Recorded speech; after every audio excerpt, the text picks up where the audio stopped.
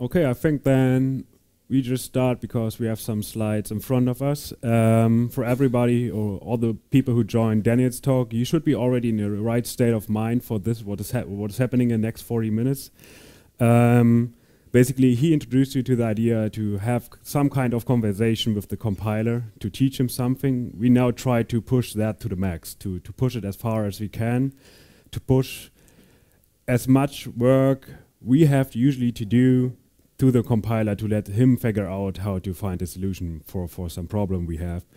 And basically we make it a really intense, long conversation with the compiler. Um, and we try to restrict ourselves to just use the tools the, the programming language Scala provides to us. So we don't try to use macros as long, uh, we try to avoid macros as long as possible. We just want to use with the tools we have at hand with Scala itself. And let's try or figure out how far we can go with that. Um, as I said, or as the title says, we try to, or our task today, or with this talk, is to write an HTTP client function just from a mere type. That's what we want to do. What that's what we want to convince the compiler to do for us. Um, our task looks something like this. So we have this endpoint, which just gets us a list of users depending um, on the name and some minimum age. So he has to return us all the users which have this name and a minimum age. And what we want to get in return is we want to somehow represent this endpoint on the type level. So as a, as a pure type. And the compiler has to find for us something which, a function which looks something like this. So a function which takes a name, takes a minimum age, and returns us some some list of users in some effectful context, some uh, either future or IO or whatnot. So this whole step, this creation of this function, the compiler should do that. We don't want to write that on our own. We don't want to do this legwork. And the basis for doing that is type level programming. And this basically the, the, the, the basis for this talk is what is type, type level programming and how, how you do it in Scala and how to use it to solve some problems and what are the benefits and what are the costs you have to pay when you use it. Um, my summary, what, what type level programming is, is basically you try to describe your computation as types, uh, which then gets evaluated, so executed by the compiler. So you just move this coding and execution one level up. Instead of writing your code as code and uh, some runtime environment is, is, executing it, you just push it all one level up to, to, to push it to the compile time. And we need two basic concepts to, to understand how to do this. The first concept is we have to represent our information which describe our data, which describe our computation on the type level, and to do so we have to use singleton types. What that is, I will describe later on just for you to know. This is one thing, you, one takeaway you have to, to, not you have to get, but which I try to explain to you is using singleton types to uh, represent your data and computation on the type level. And the second concept is using recursive implicit resolution, so the implicit resolution mechanism, but in a recursive way to represent uh, or to do these computations. So to do the evaluation, the computation, you have to use implicit recursive um, resolution, and that's something we also will talk about, what it is, how to use it, and how it works in the background. And once you get the gist or the idea of how this works, maybe not with this talk, but maybe when you continue reading mat material about this, listening to other talks, you might realize that there are many things you can move to the type level, many things you can convince the compiler to do for you instead of you writing the code instead of you doing all the stuff.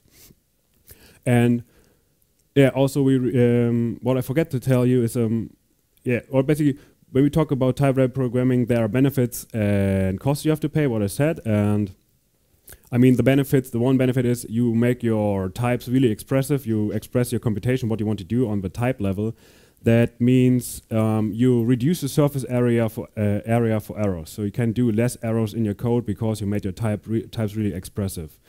Um, the next thing is you just scrap a lot of boilerplate. You don't have to write a lot, uh, or you can move a lot of work, leg work you have to do usually on your own to the compiler, and you don't have to do yeah, you, you, don't have to write the code on your own. You have to, yeah, you don't have to write it. You don't have to maintain it. You don't have to test it. Um, on the other side, of course, there's a cost, and this cost comes in form of compilation time. Now, since you um, you don't have to invest the time to write the code, the compiler has to figure out how to solve the problem. So he has to invest the time, and then you end up maybe with unacceptable compile times, and you have to start to tweak your your your code to make it faster, or even you end up with scenarios where it simply does not make any sense anymore to move that to the to the type level, because the compile times just go through the roof and you I experienced compile times up to 45 minutes or two hours for projects where we just push that too far, where we try to push too much to the type level. So this is a cost you have to keep in mind. It's something um, what you pay for to get this power. Uh, short introduction of myself. Uh, my name is Paul Heymann. I work as a data engineer at the professional social network Xing. It's basically we keep LinkedIn at bay in the German-speaking countries. So this is basically a competitor to LinkedIn. And yeah, I basically write Scala services day in and out, so recommend uh, recommender and libraries which um, support to build this recommender and other stuff related to data science services. Um, I also do some Scala trainings, functional programming and Scala trainings uh, internally within Xing and sometimes externally. Um, I also open source one of my workshops, which is five days workshop on functional programming Scala. So if you're interested in something like this, you can just, there are slides, exercises, projects in there just if you want to learn something about functional programming Scala. It's just for free. And I do some open source work. Uh, basically, this is just my uh, GitHub handle. Um, but now let's just start. Um, no, no, no. Seems like we do not start. Okay, I just continue with uh, my notebook. Um, the first thing you have to do is to represent this API, to represent this endpoint as a type. So we have to move this description we had as a comment or as a string to the, to the type level. And again, this is the endpoint, the API we want to describe. Um, and just let's start with one of the simpler elements, the static path element users. What we want to do, what we want to have is something where we say, okay, um, users is literal, and I want to have a specific type representation of this literal on the type level. So what I want is a literal type. A literal type is basically this string literal encoded on the type level. There is a representation of literal types within the Scala compiler, within the vanilla Scala compiler, which is right now 2.12, but you have no access to it. You get access to literal types in 2.13, I think, and you get it in Dotty, so Scala free. But right now with Scala 2.12, you don't have access to it. It's enclosed within the compiler, which is kind of a bummer because we need this information. We have to somehow represent it on a type level. What we can do is, nope. What we can do is refer to the library Shapeless. You heard it before from Daniel, which comes with some nice tools when it comes to type level programming. And Shapeless has a class in it which is called Witness. Witness is basically a macro we have to use here at this point to uh, bypass the problem, this or this limitation of the Scala compiler we have, to extract the literal type from the internal representation of the compiler. Basically, what it does is you give it a literal or some singleton uh, singleton value, and it can extract for you the singleton type, in this case, the literal type, from the internal representation for you. So when we use it, what we have to do is we create a witness from the string users, and what we get back is uh, the witness, which then extracts this literal type, and we get access to the literal type by just saying, okay, give me this t, this literal type, this re literal representation on the type level of this string. But this also puts this restriction of that we have to create this value first to get access to the literal type. So did that restricts us to that we have to first go through the value level to get access to the literal type to then go back to the type level, which is kind of, again of a bummer and restriction of Scala 2.12, but this problem should just go away with 2.13 and uh, Scala 3, where you just can directly use a literal type. So for now, you have to accept that we have to go first through the value level to get access to the type level, because we have to go through these hoops of extracting internal uh, compiler representations of uh, certain types. Now we have our literal type, we can represent this static path element on the type level. Now we have to make it a bit more precise to say this is a path element to make it more specific. So basically we want to tag this, this, this type. What we do is we create uh, this path trait, or this trait path, we make it sealed and we provide no inhabitant. So this is a pure type. It has no value level representation. We only use it to tag our literal type as this is a path element. So basically what we end up with is something we say, we have a path element and it is a literal, literate type uses. So we encoded the information, we have a static path element and what it is named on the type level. And that basically is the whole trick when moving stuff to the type level. So you use singleton types. So path in a sense is also kind of a singleton type because there's only one representation. It's a path C-trait path itself.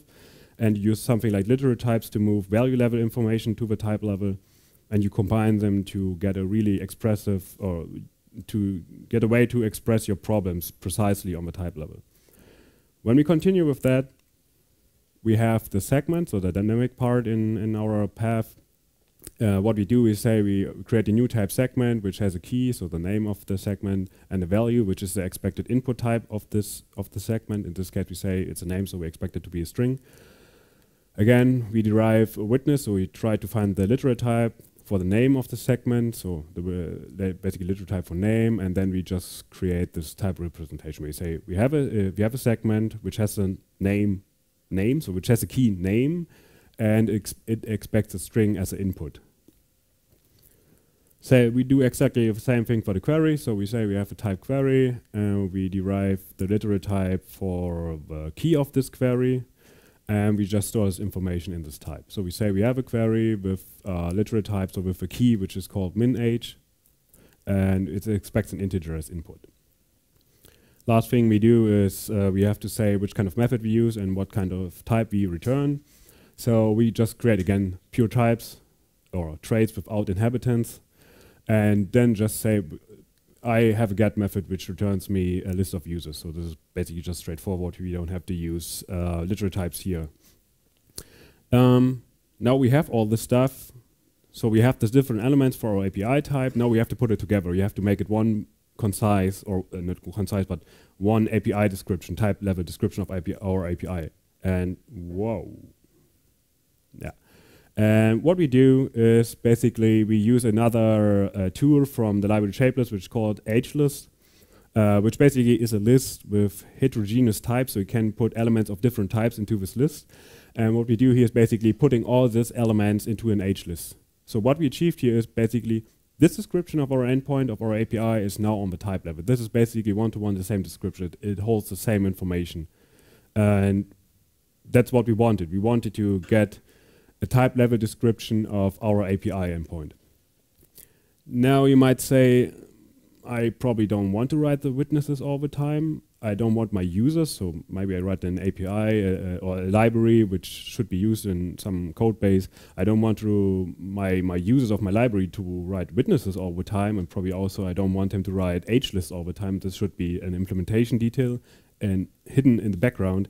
So what we do want to have is something like this, where we just have a nice DSL we, where we put all the things together, where witnesses are derived automatically, and we just, in the end, get the same type. We could just get it, not for free, but it is done in the background by this DSL.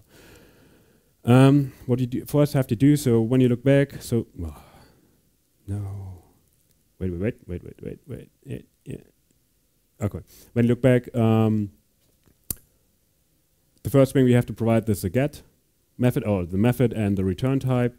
And the problem is, as I said, this these are sealed traits, so we can we provided no implementations for that. So this is a pure type; it has no inhabitants. You cannot just pass a value for this thing. It's the idea is that this is just a type. Um, what we have to do is we have to provide some carrier on the on the value level to pass on this information. Again, this whole problem is with witness that we have to go the, through the value level to to extract all the information we need for now. So for pure types, what you have to do, we have to provide something which carries the type for us on the value level. So we create just something like this case class, which has a type parameter, but nothing else. The only thing it does is carrying around this type parameter for you. And then we just can create a method get, which just creates me a type carrier with, with the type, the method, uh, or the method type get and the output uh, type we expect. Um, then we have the path part, so where we try to create our, our path for our endpoint. And what we do is we have to create some builder, which again is basically a carrier for our type, which here stores uh, the H list for our path.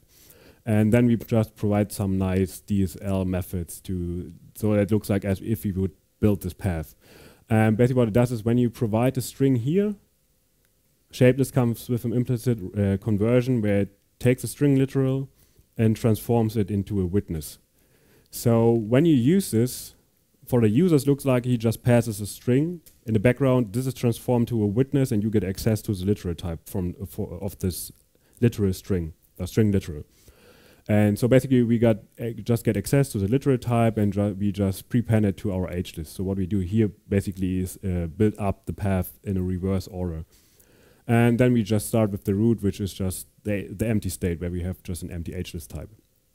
And when we use it, it looks something like this. So that's something we want to have in a, a nice DSL. We said we start with an empty path with a root and a route root, and you say I have one static element, uh, one path element I call users. Um, but all this information then again is just stored as an HList type. There's no value level representation of that.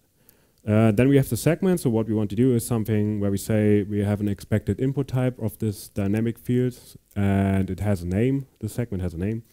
And this should then create this type segment with the literal type and the expected input type. Um, oh yeah, this will happen from time to time because uh, the width of this beamer is not wide enough for all the type information. Uh, what we basically have to create is this helper function where we say, okay, we first provide the uh, expected input type, as we see have seen before here. So we say it's a string, and then we create this helper class, which basically is just a function again, which then takes a string literal, transforms it into a witness, so we get access to literal type, and then we can just put all the stuff here into a type carrier where we say this is a segment with a key and a value type, and then we just can uh, pass it pass on this information. And we pass it on by just providing another DSL method where we say, here we expect a type carrier which has a segment. We just take the whole segment and put it into our path, uh, path type, in our HList type for the path. So using that, basically you end up with something like this.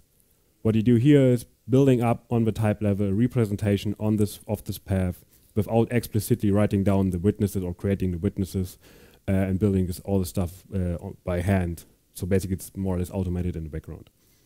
Um, you would do exactly the same thing for the query, so there's nothing special about the queries here, so I simply don't, I just skip this part, it's equivalent in how you do this. So what we end up with is kind of this beast. So you say you expect a method, and um, actually this is wrong, I see right now. This should be, I expect a type carrier, which then stores a method for me. Uh, I expect this path builder, which has the path as a HList type stored in it. I expect a query builder, which then again has an HList with the query stored on the HList for you. And what I do is, now I have to put this all together into one single HList type. So what I do is I use another type class from Shapeless, which is called prepend, where you can just prepend one HList uh, in front of another HList. Um, yeah, that's basically what we want to do. So we say prepend Q in front of P, and the result is then uh, I call API. So this is a final, or this is then the combination of these two H lists.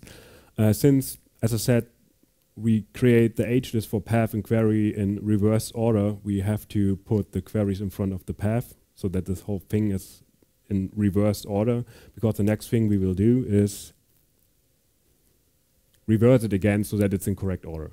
This is another type class from Shapeless where you then can say, I have a type for uh, an H list or I have an H list, please return, uh, reverse this H list for me. So that now the result of this reverse then creates us the correct type, the, uh, the, the, elements are in the correct order. And basically what I do is I just add the method type in front of all this stuff and uh, what I end up with is exactly what you saw, saw in the beginning. So when you use it, it looks something like this and what we get back is this uh, H-list type. So the type we wanted to have, we created before by hand. Now, just now all the things are automated. We don't, the user don't have has to know that we use H lists in the background, that we use witnesses in the background. For him, it's just he has some nice DSL, just use it and, it, and it's fine. So now that we have described, or that we now that we have a description of our API on the type level, the next thing we have to do is to derive the client, to somehow convince the compiler to do some computation with this information to build up a function for us. And so what we want to do is we have this API and we want to call some derived function and what we want to end up with is that thing. So for now we say uh, what, what, we want to end up with some, a function which takes a string and integer, so the name and the age, and it returns us a list of users. And for now I just fix that to IO to make it a bit easier later on to, to handle all this stuff.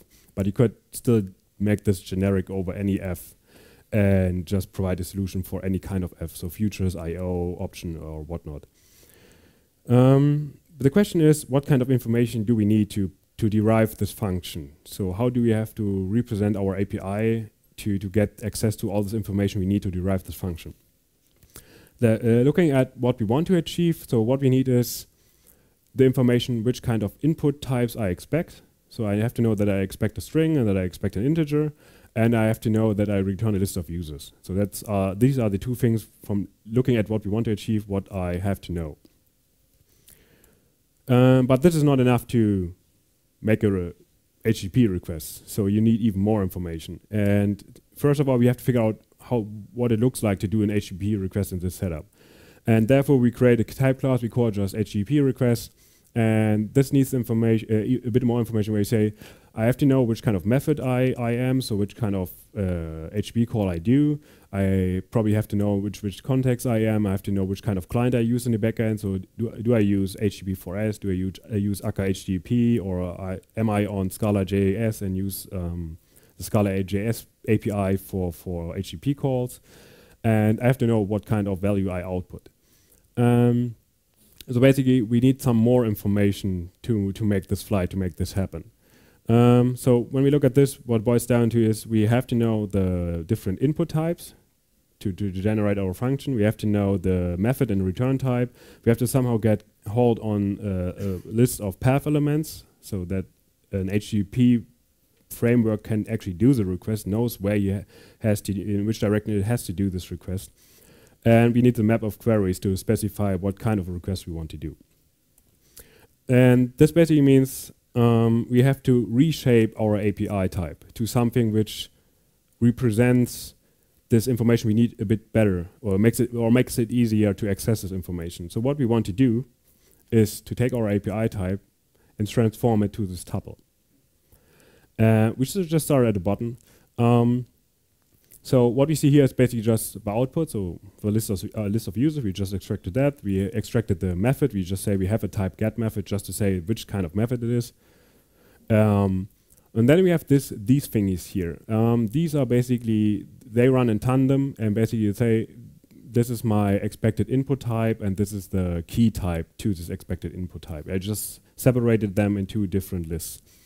Um, but they all, as I said, they run in tandem. So this belongs to that uh, type, and this belongs to that type. Um, and then we have this last H list up here, which is basically we will use that as our string we will follow. So this is basically how we then, this we will use that to describe our computation because here we just say, I expect a query input.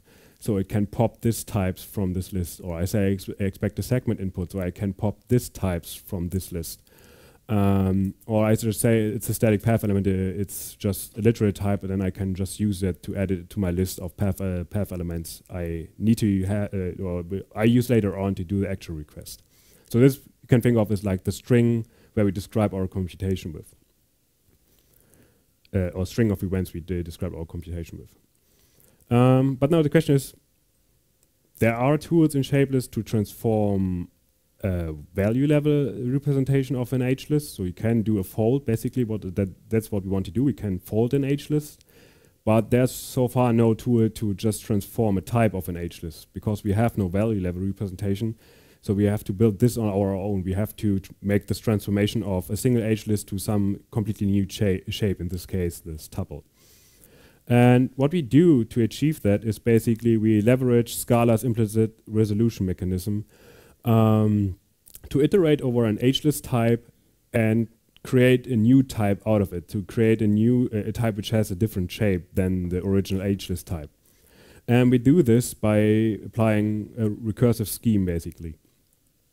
Um, so how does it look like? So how does a type level fold a level uh, fold over a just an HS type look like uh, when we try to implement it?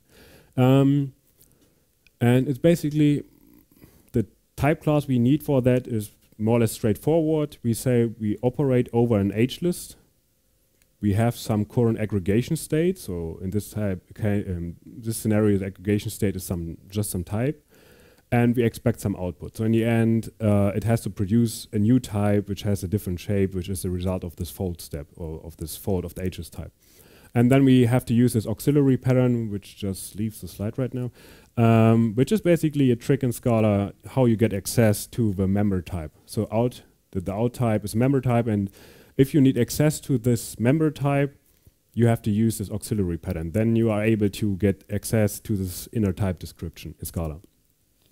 Starting with, I would say, the simplest case it's a final case. So as in recursion, you have a final case where you stop your recursion and just return your res result. Uh, you have the same then on the type level, where you say, okay, my H list is empty, so I reach the end of my H list, and I have a current aggregation state, a current aggregation state type, and the only thing I do is I just say this is my final result. I put this as an output type, and then I'm done. Basically, this is the end of my computation. And then I have the recursive step. For now, this is kind of useless. It's just here for you to understand how this works. Um, basically, what I say is, I right now uh, in this step I have an H list which has a head and a tail, and what I do is basically, um, and I have a current aggregation state, and what I want to do is like, because we have this recursive step, uh, what we do is we call, or we try to find the next fold step for the remaining part of the list, of the list type, we supply some new aggregation state. We update it. For now, as I said, this is useless. We make this more precise in the next step. Here we just supply the current head. And then in the end, after all this computation is done, we have some output type, some final result of this fold step. And we, by using the aux uh, auxiliary pattern, we get access to it.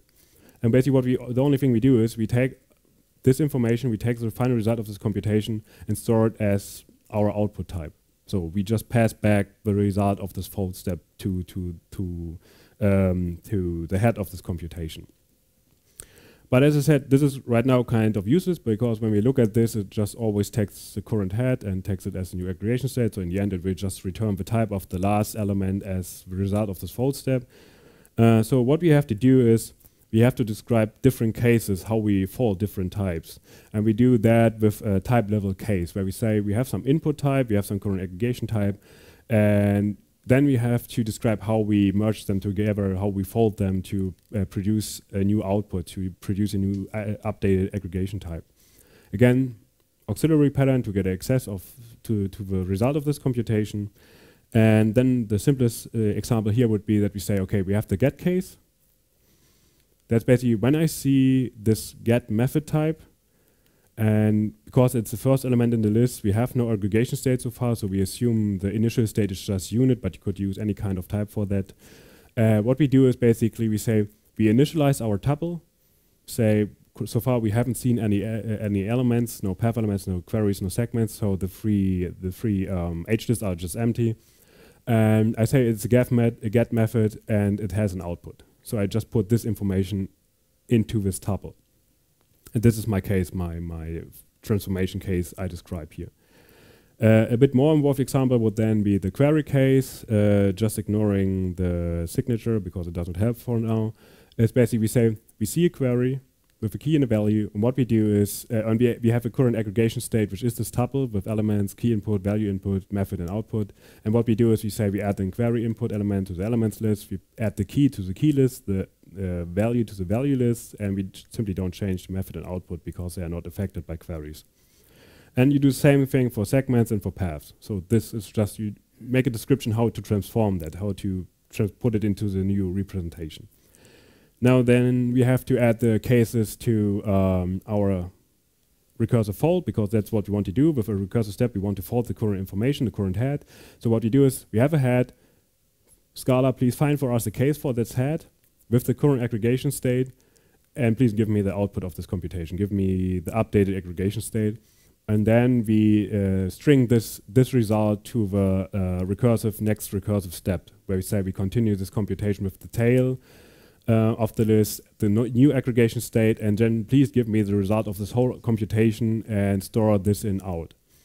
Uh, when it comes to this thing here, problem is if you just ignore lazy, you, you don't put this lazy keyword around that, this will not compile. Scala then has a problem that it tries to find a solution for this thing, it tries to find a solution for this thing, but it hasn't found the C out at the moment, so it cannot find um, a solution for folders. So what you have to do is you have to postpone this recursive, uh, this implicit resolution until this implicit resolution is done, because then you have access or you know this type, and then you can find the solution for this type. It's basically a hoop you have to go through with Scala and the implicit resolution mechanism. So when we apply this, so we say, Scala, please find a find a, the folded type or the new the new shape for our API. Looks something like this. It first does a recursive step, sees the the get method at the beginning, so it initializes our uh, new type or our the, final type we want to have. Then it sees the uh, sees on the path element, so it adds the, the literal type to to the to the elements list. Then we see a segment, so it adds a segments input element to the elements list, uh, the literal type to the key list, and the input type to the uh, value list. Same for query, and in the end, when we reach the end of this H list, we just return the final type as our result. Um, now we have this new shape, we, we now have all the information as we need them, and now we have to collect the, all the data necessary to do this request. So we have to collect this uh, list of path elements, we have to collect the map of queries. And we do this with another type class, So you see a lot of type classes here. uh, basically what we say is uh, this type class works over this elements, this list of elements, what I said, this is our string we follow to provide to describe this computation. And we just also provide the type class the key input list and the value input list so that it can pop out this information when needed. And basically, this type class is just a function which gets the inputs expected, this dynamic input, so the segment and the query, and it builds up a path and, a, and the queries map, which in the end it just returns when it reaches the final result. So this is our uh, this basically our accumulators or uh, aggregators to to collect this information. So again, this is recursive, so we start with the final case or return case. That's basically when all the lists are empty, we reach the end, we just found or processed a transformation for all the steps. The last thing we do is we just return the path the, to the, the queries. That's the only thing we do. The recursive step looks something like this, for example, for, for again for the queries. I think I have a reduced uh, version again because the signature is not helping again. and what we say is, when we see a query input, pop the key and the value type because we know we have this is now the thing we are working with. We know the inputs the head has to type uh, has to have the type value uh, the type v because this is the current head of our uh, expected input type list. And what you do is basically you pop this head from here, so we just continue to work with the tail. We just uh, removed it from our input list, uh, we don't change the path because queries don't have uh, um, effects on the path itself. And we add a new pair to our queries map where we say, uh, Scala, please find me um, the le value level representation of this liter literal type so that I can use it as a key. And just take the input, the head of the input, and put it into this list so that we get this key value pair of what is the name of the query and what is the current value of this uh, um, of this tuple, not of query, but of this tuple. And basically, you then again you use same thing for segments, and you do a comparable thing with uh, uh, with the path elements. And what you end up with is basically this nested function call structure. So Scala derived for you a nested function call structure.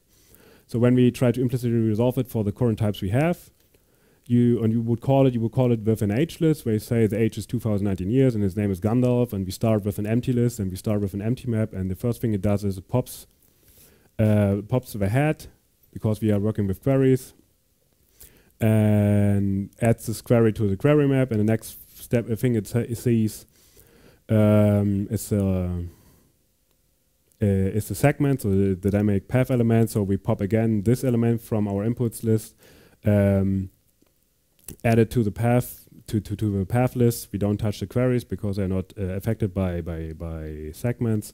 Last thing is we see um, the static path element users. We add just the, literal, uh, the type uh, value level representation of this literal type to the path list.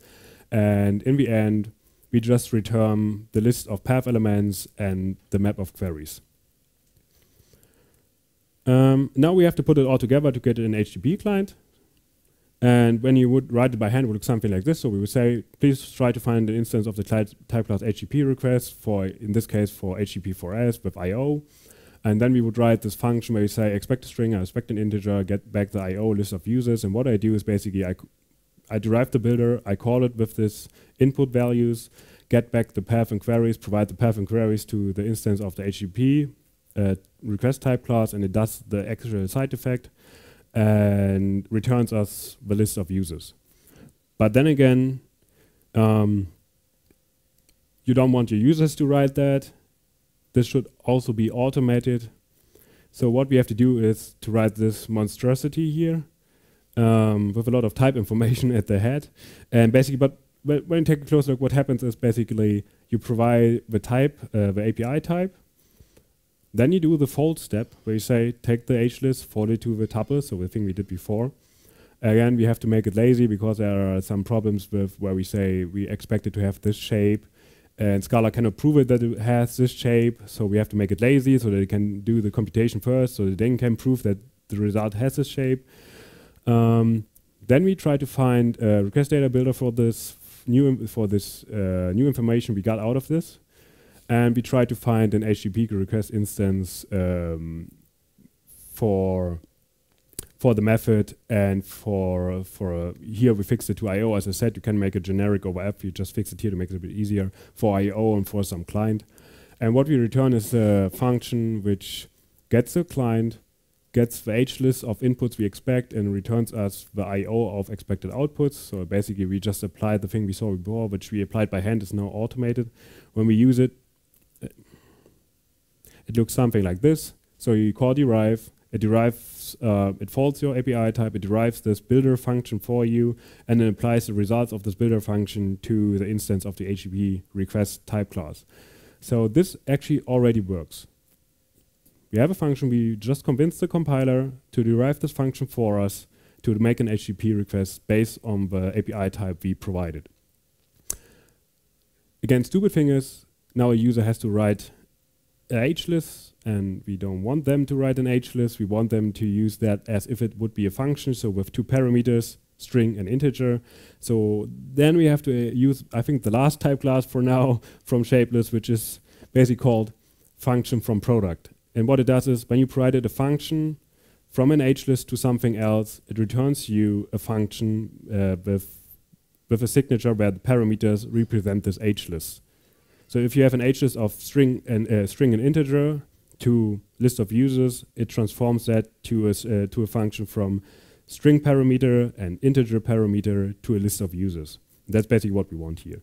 Uh, we just use it as we basically just apply the instance of this uh, type class, and now when we use it, we get a function which actually looks like a function. So we have a parameter list. We can provide all the dynamic parts of our requests to the call and it just does the um, side effect, so it does this HTTP call. So basically, now we convince the compiler that we can somehow represent our type, uh, our API as a type, and we convince the compiler to derive this HTTP client function for us. So yay, we did what we want, or we achieved what we wanted to do. Was just kind of a long conversation. um, so, so I have a small summary what I said, the two things, the two takeaways, the two concepts you have to use to make this work in Scala. First thing is you have to use singleton types to represent represent your information on the type level. For now, with Scala 2.12, you have to go through the value level. You have to use witnesses to get access, access to compiler internals to the internal representation of literal types. With 2.13 and Dotty, you don't have to do this anymore. You can purely describe this whole thing on the type level. Um, and you have to use implicit recursive resolution to describe this computation. So basically what we did with folder, um, you just implicitly resolve the same type class all over again and just make one element, in this case H list smaller and smaller and smaller until you reach the final case where the uh, H list type is empty and it, then you just return your final result. Um, you could do this now all on your own or, and this is a shameless plug, I already provided a library for that. And basically, it's able to derive HTTP clients uh, for all kinds of uh, effectful um, contexts, so for all kinds of apps for you. It's also able to derive servers for you from that. And the nice thing is then you can use it kind of as a, as a contract between the client and the server. So when both derive, when the server derives its server um, function from this type and the client derives this client function from this type, you can be sure that they follow this protocol, that they obey this protocol. It's kind of a contract between client and server. Um, as a side note, what when it comes to the costs, so for now, for right now, the implementation is more or less equivalent to the things you saw in this talk.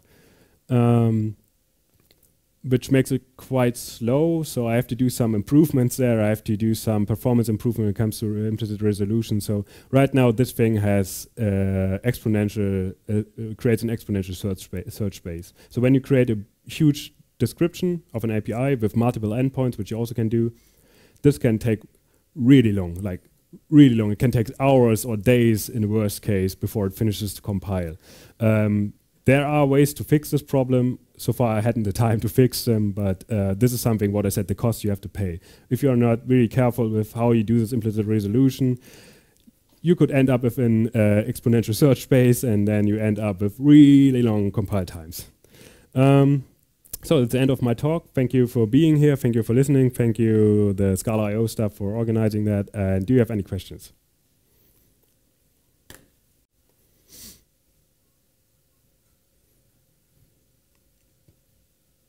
I just broke people.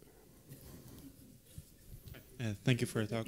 Uh, did you consider using the type level compiler? They're supposed to integrate uh, the literals. Uh, no, I mean there's well. since they have to backport this merged feature of literal types that you get access to that. Uh, it has to end up in Scala, which it does with 213 and Dotty.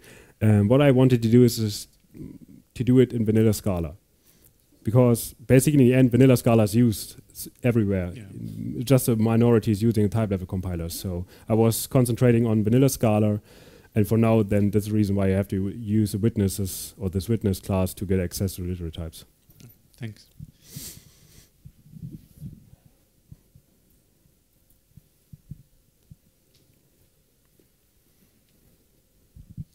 So, how do you count to how, how do you plan to reduce the um, uh, search space for implicits? So, I mean, there are some low-hanging fruits where you can reduce the constant part of this complexity equation. So, instead of having this three steps or two steps to to derive the function, I would fuse them. That would be the first thing, just the low-hanging fruit. Fuse them into one big step, uh, so that you don't have to do this uh, implicit resolution multiple times.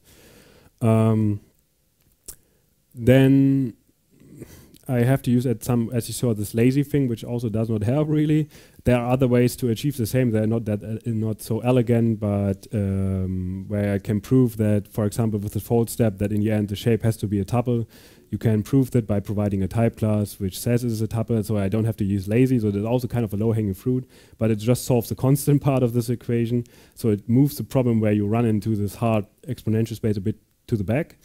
Uh, when it comes to the exponential part, I have to take a look into. But uh, you can activate when you run the Scala compiler, You can activate a flag which locks you all the the, the implicit uh, resolutions the Scala compiler goes through. So you see what he actually is searching for, and I have to look if their exponential search usually means there's somehow a loop where he starts to so, uh, not directly find the thing he has to find, but he goes through a, a, lot of steps before he finds it, and then I have to fine tune where I put the implicits to make it for the Scala compiler easier to find the correct implicits as fast as possible. And then you may be able to pu push that back to linear to a linear complexity. And then it would be somehow fine again. Then maybe it compiles in 20 seconds and not in 20 hours, which is okay for what you do there.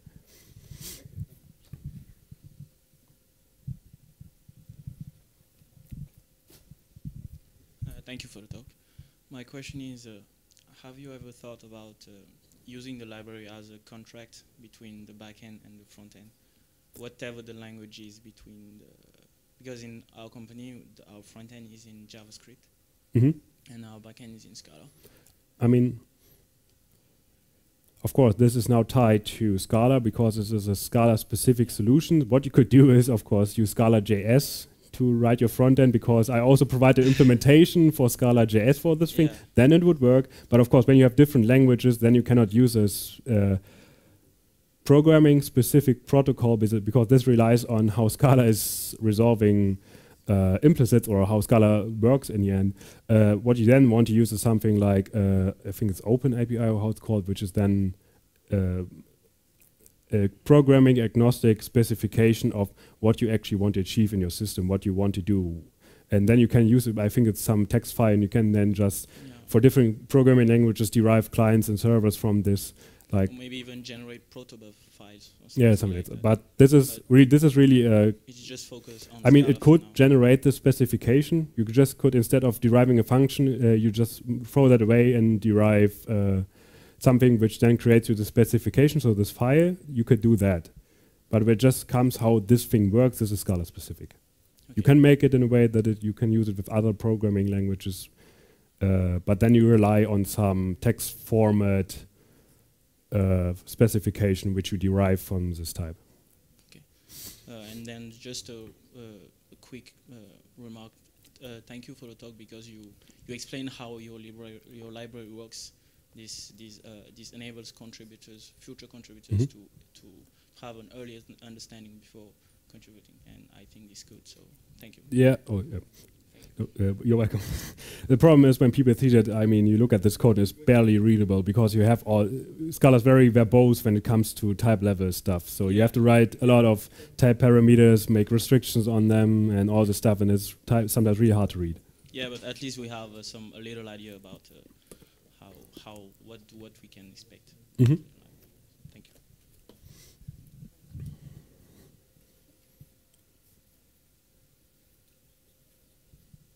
Okay. Then thanks again.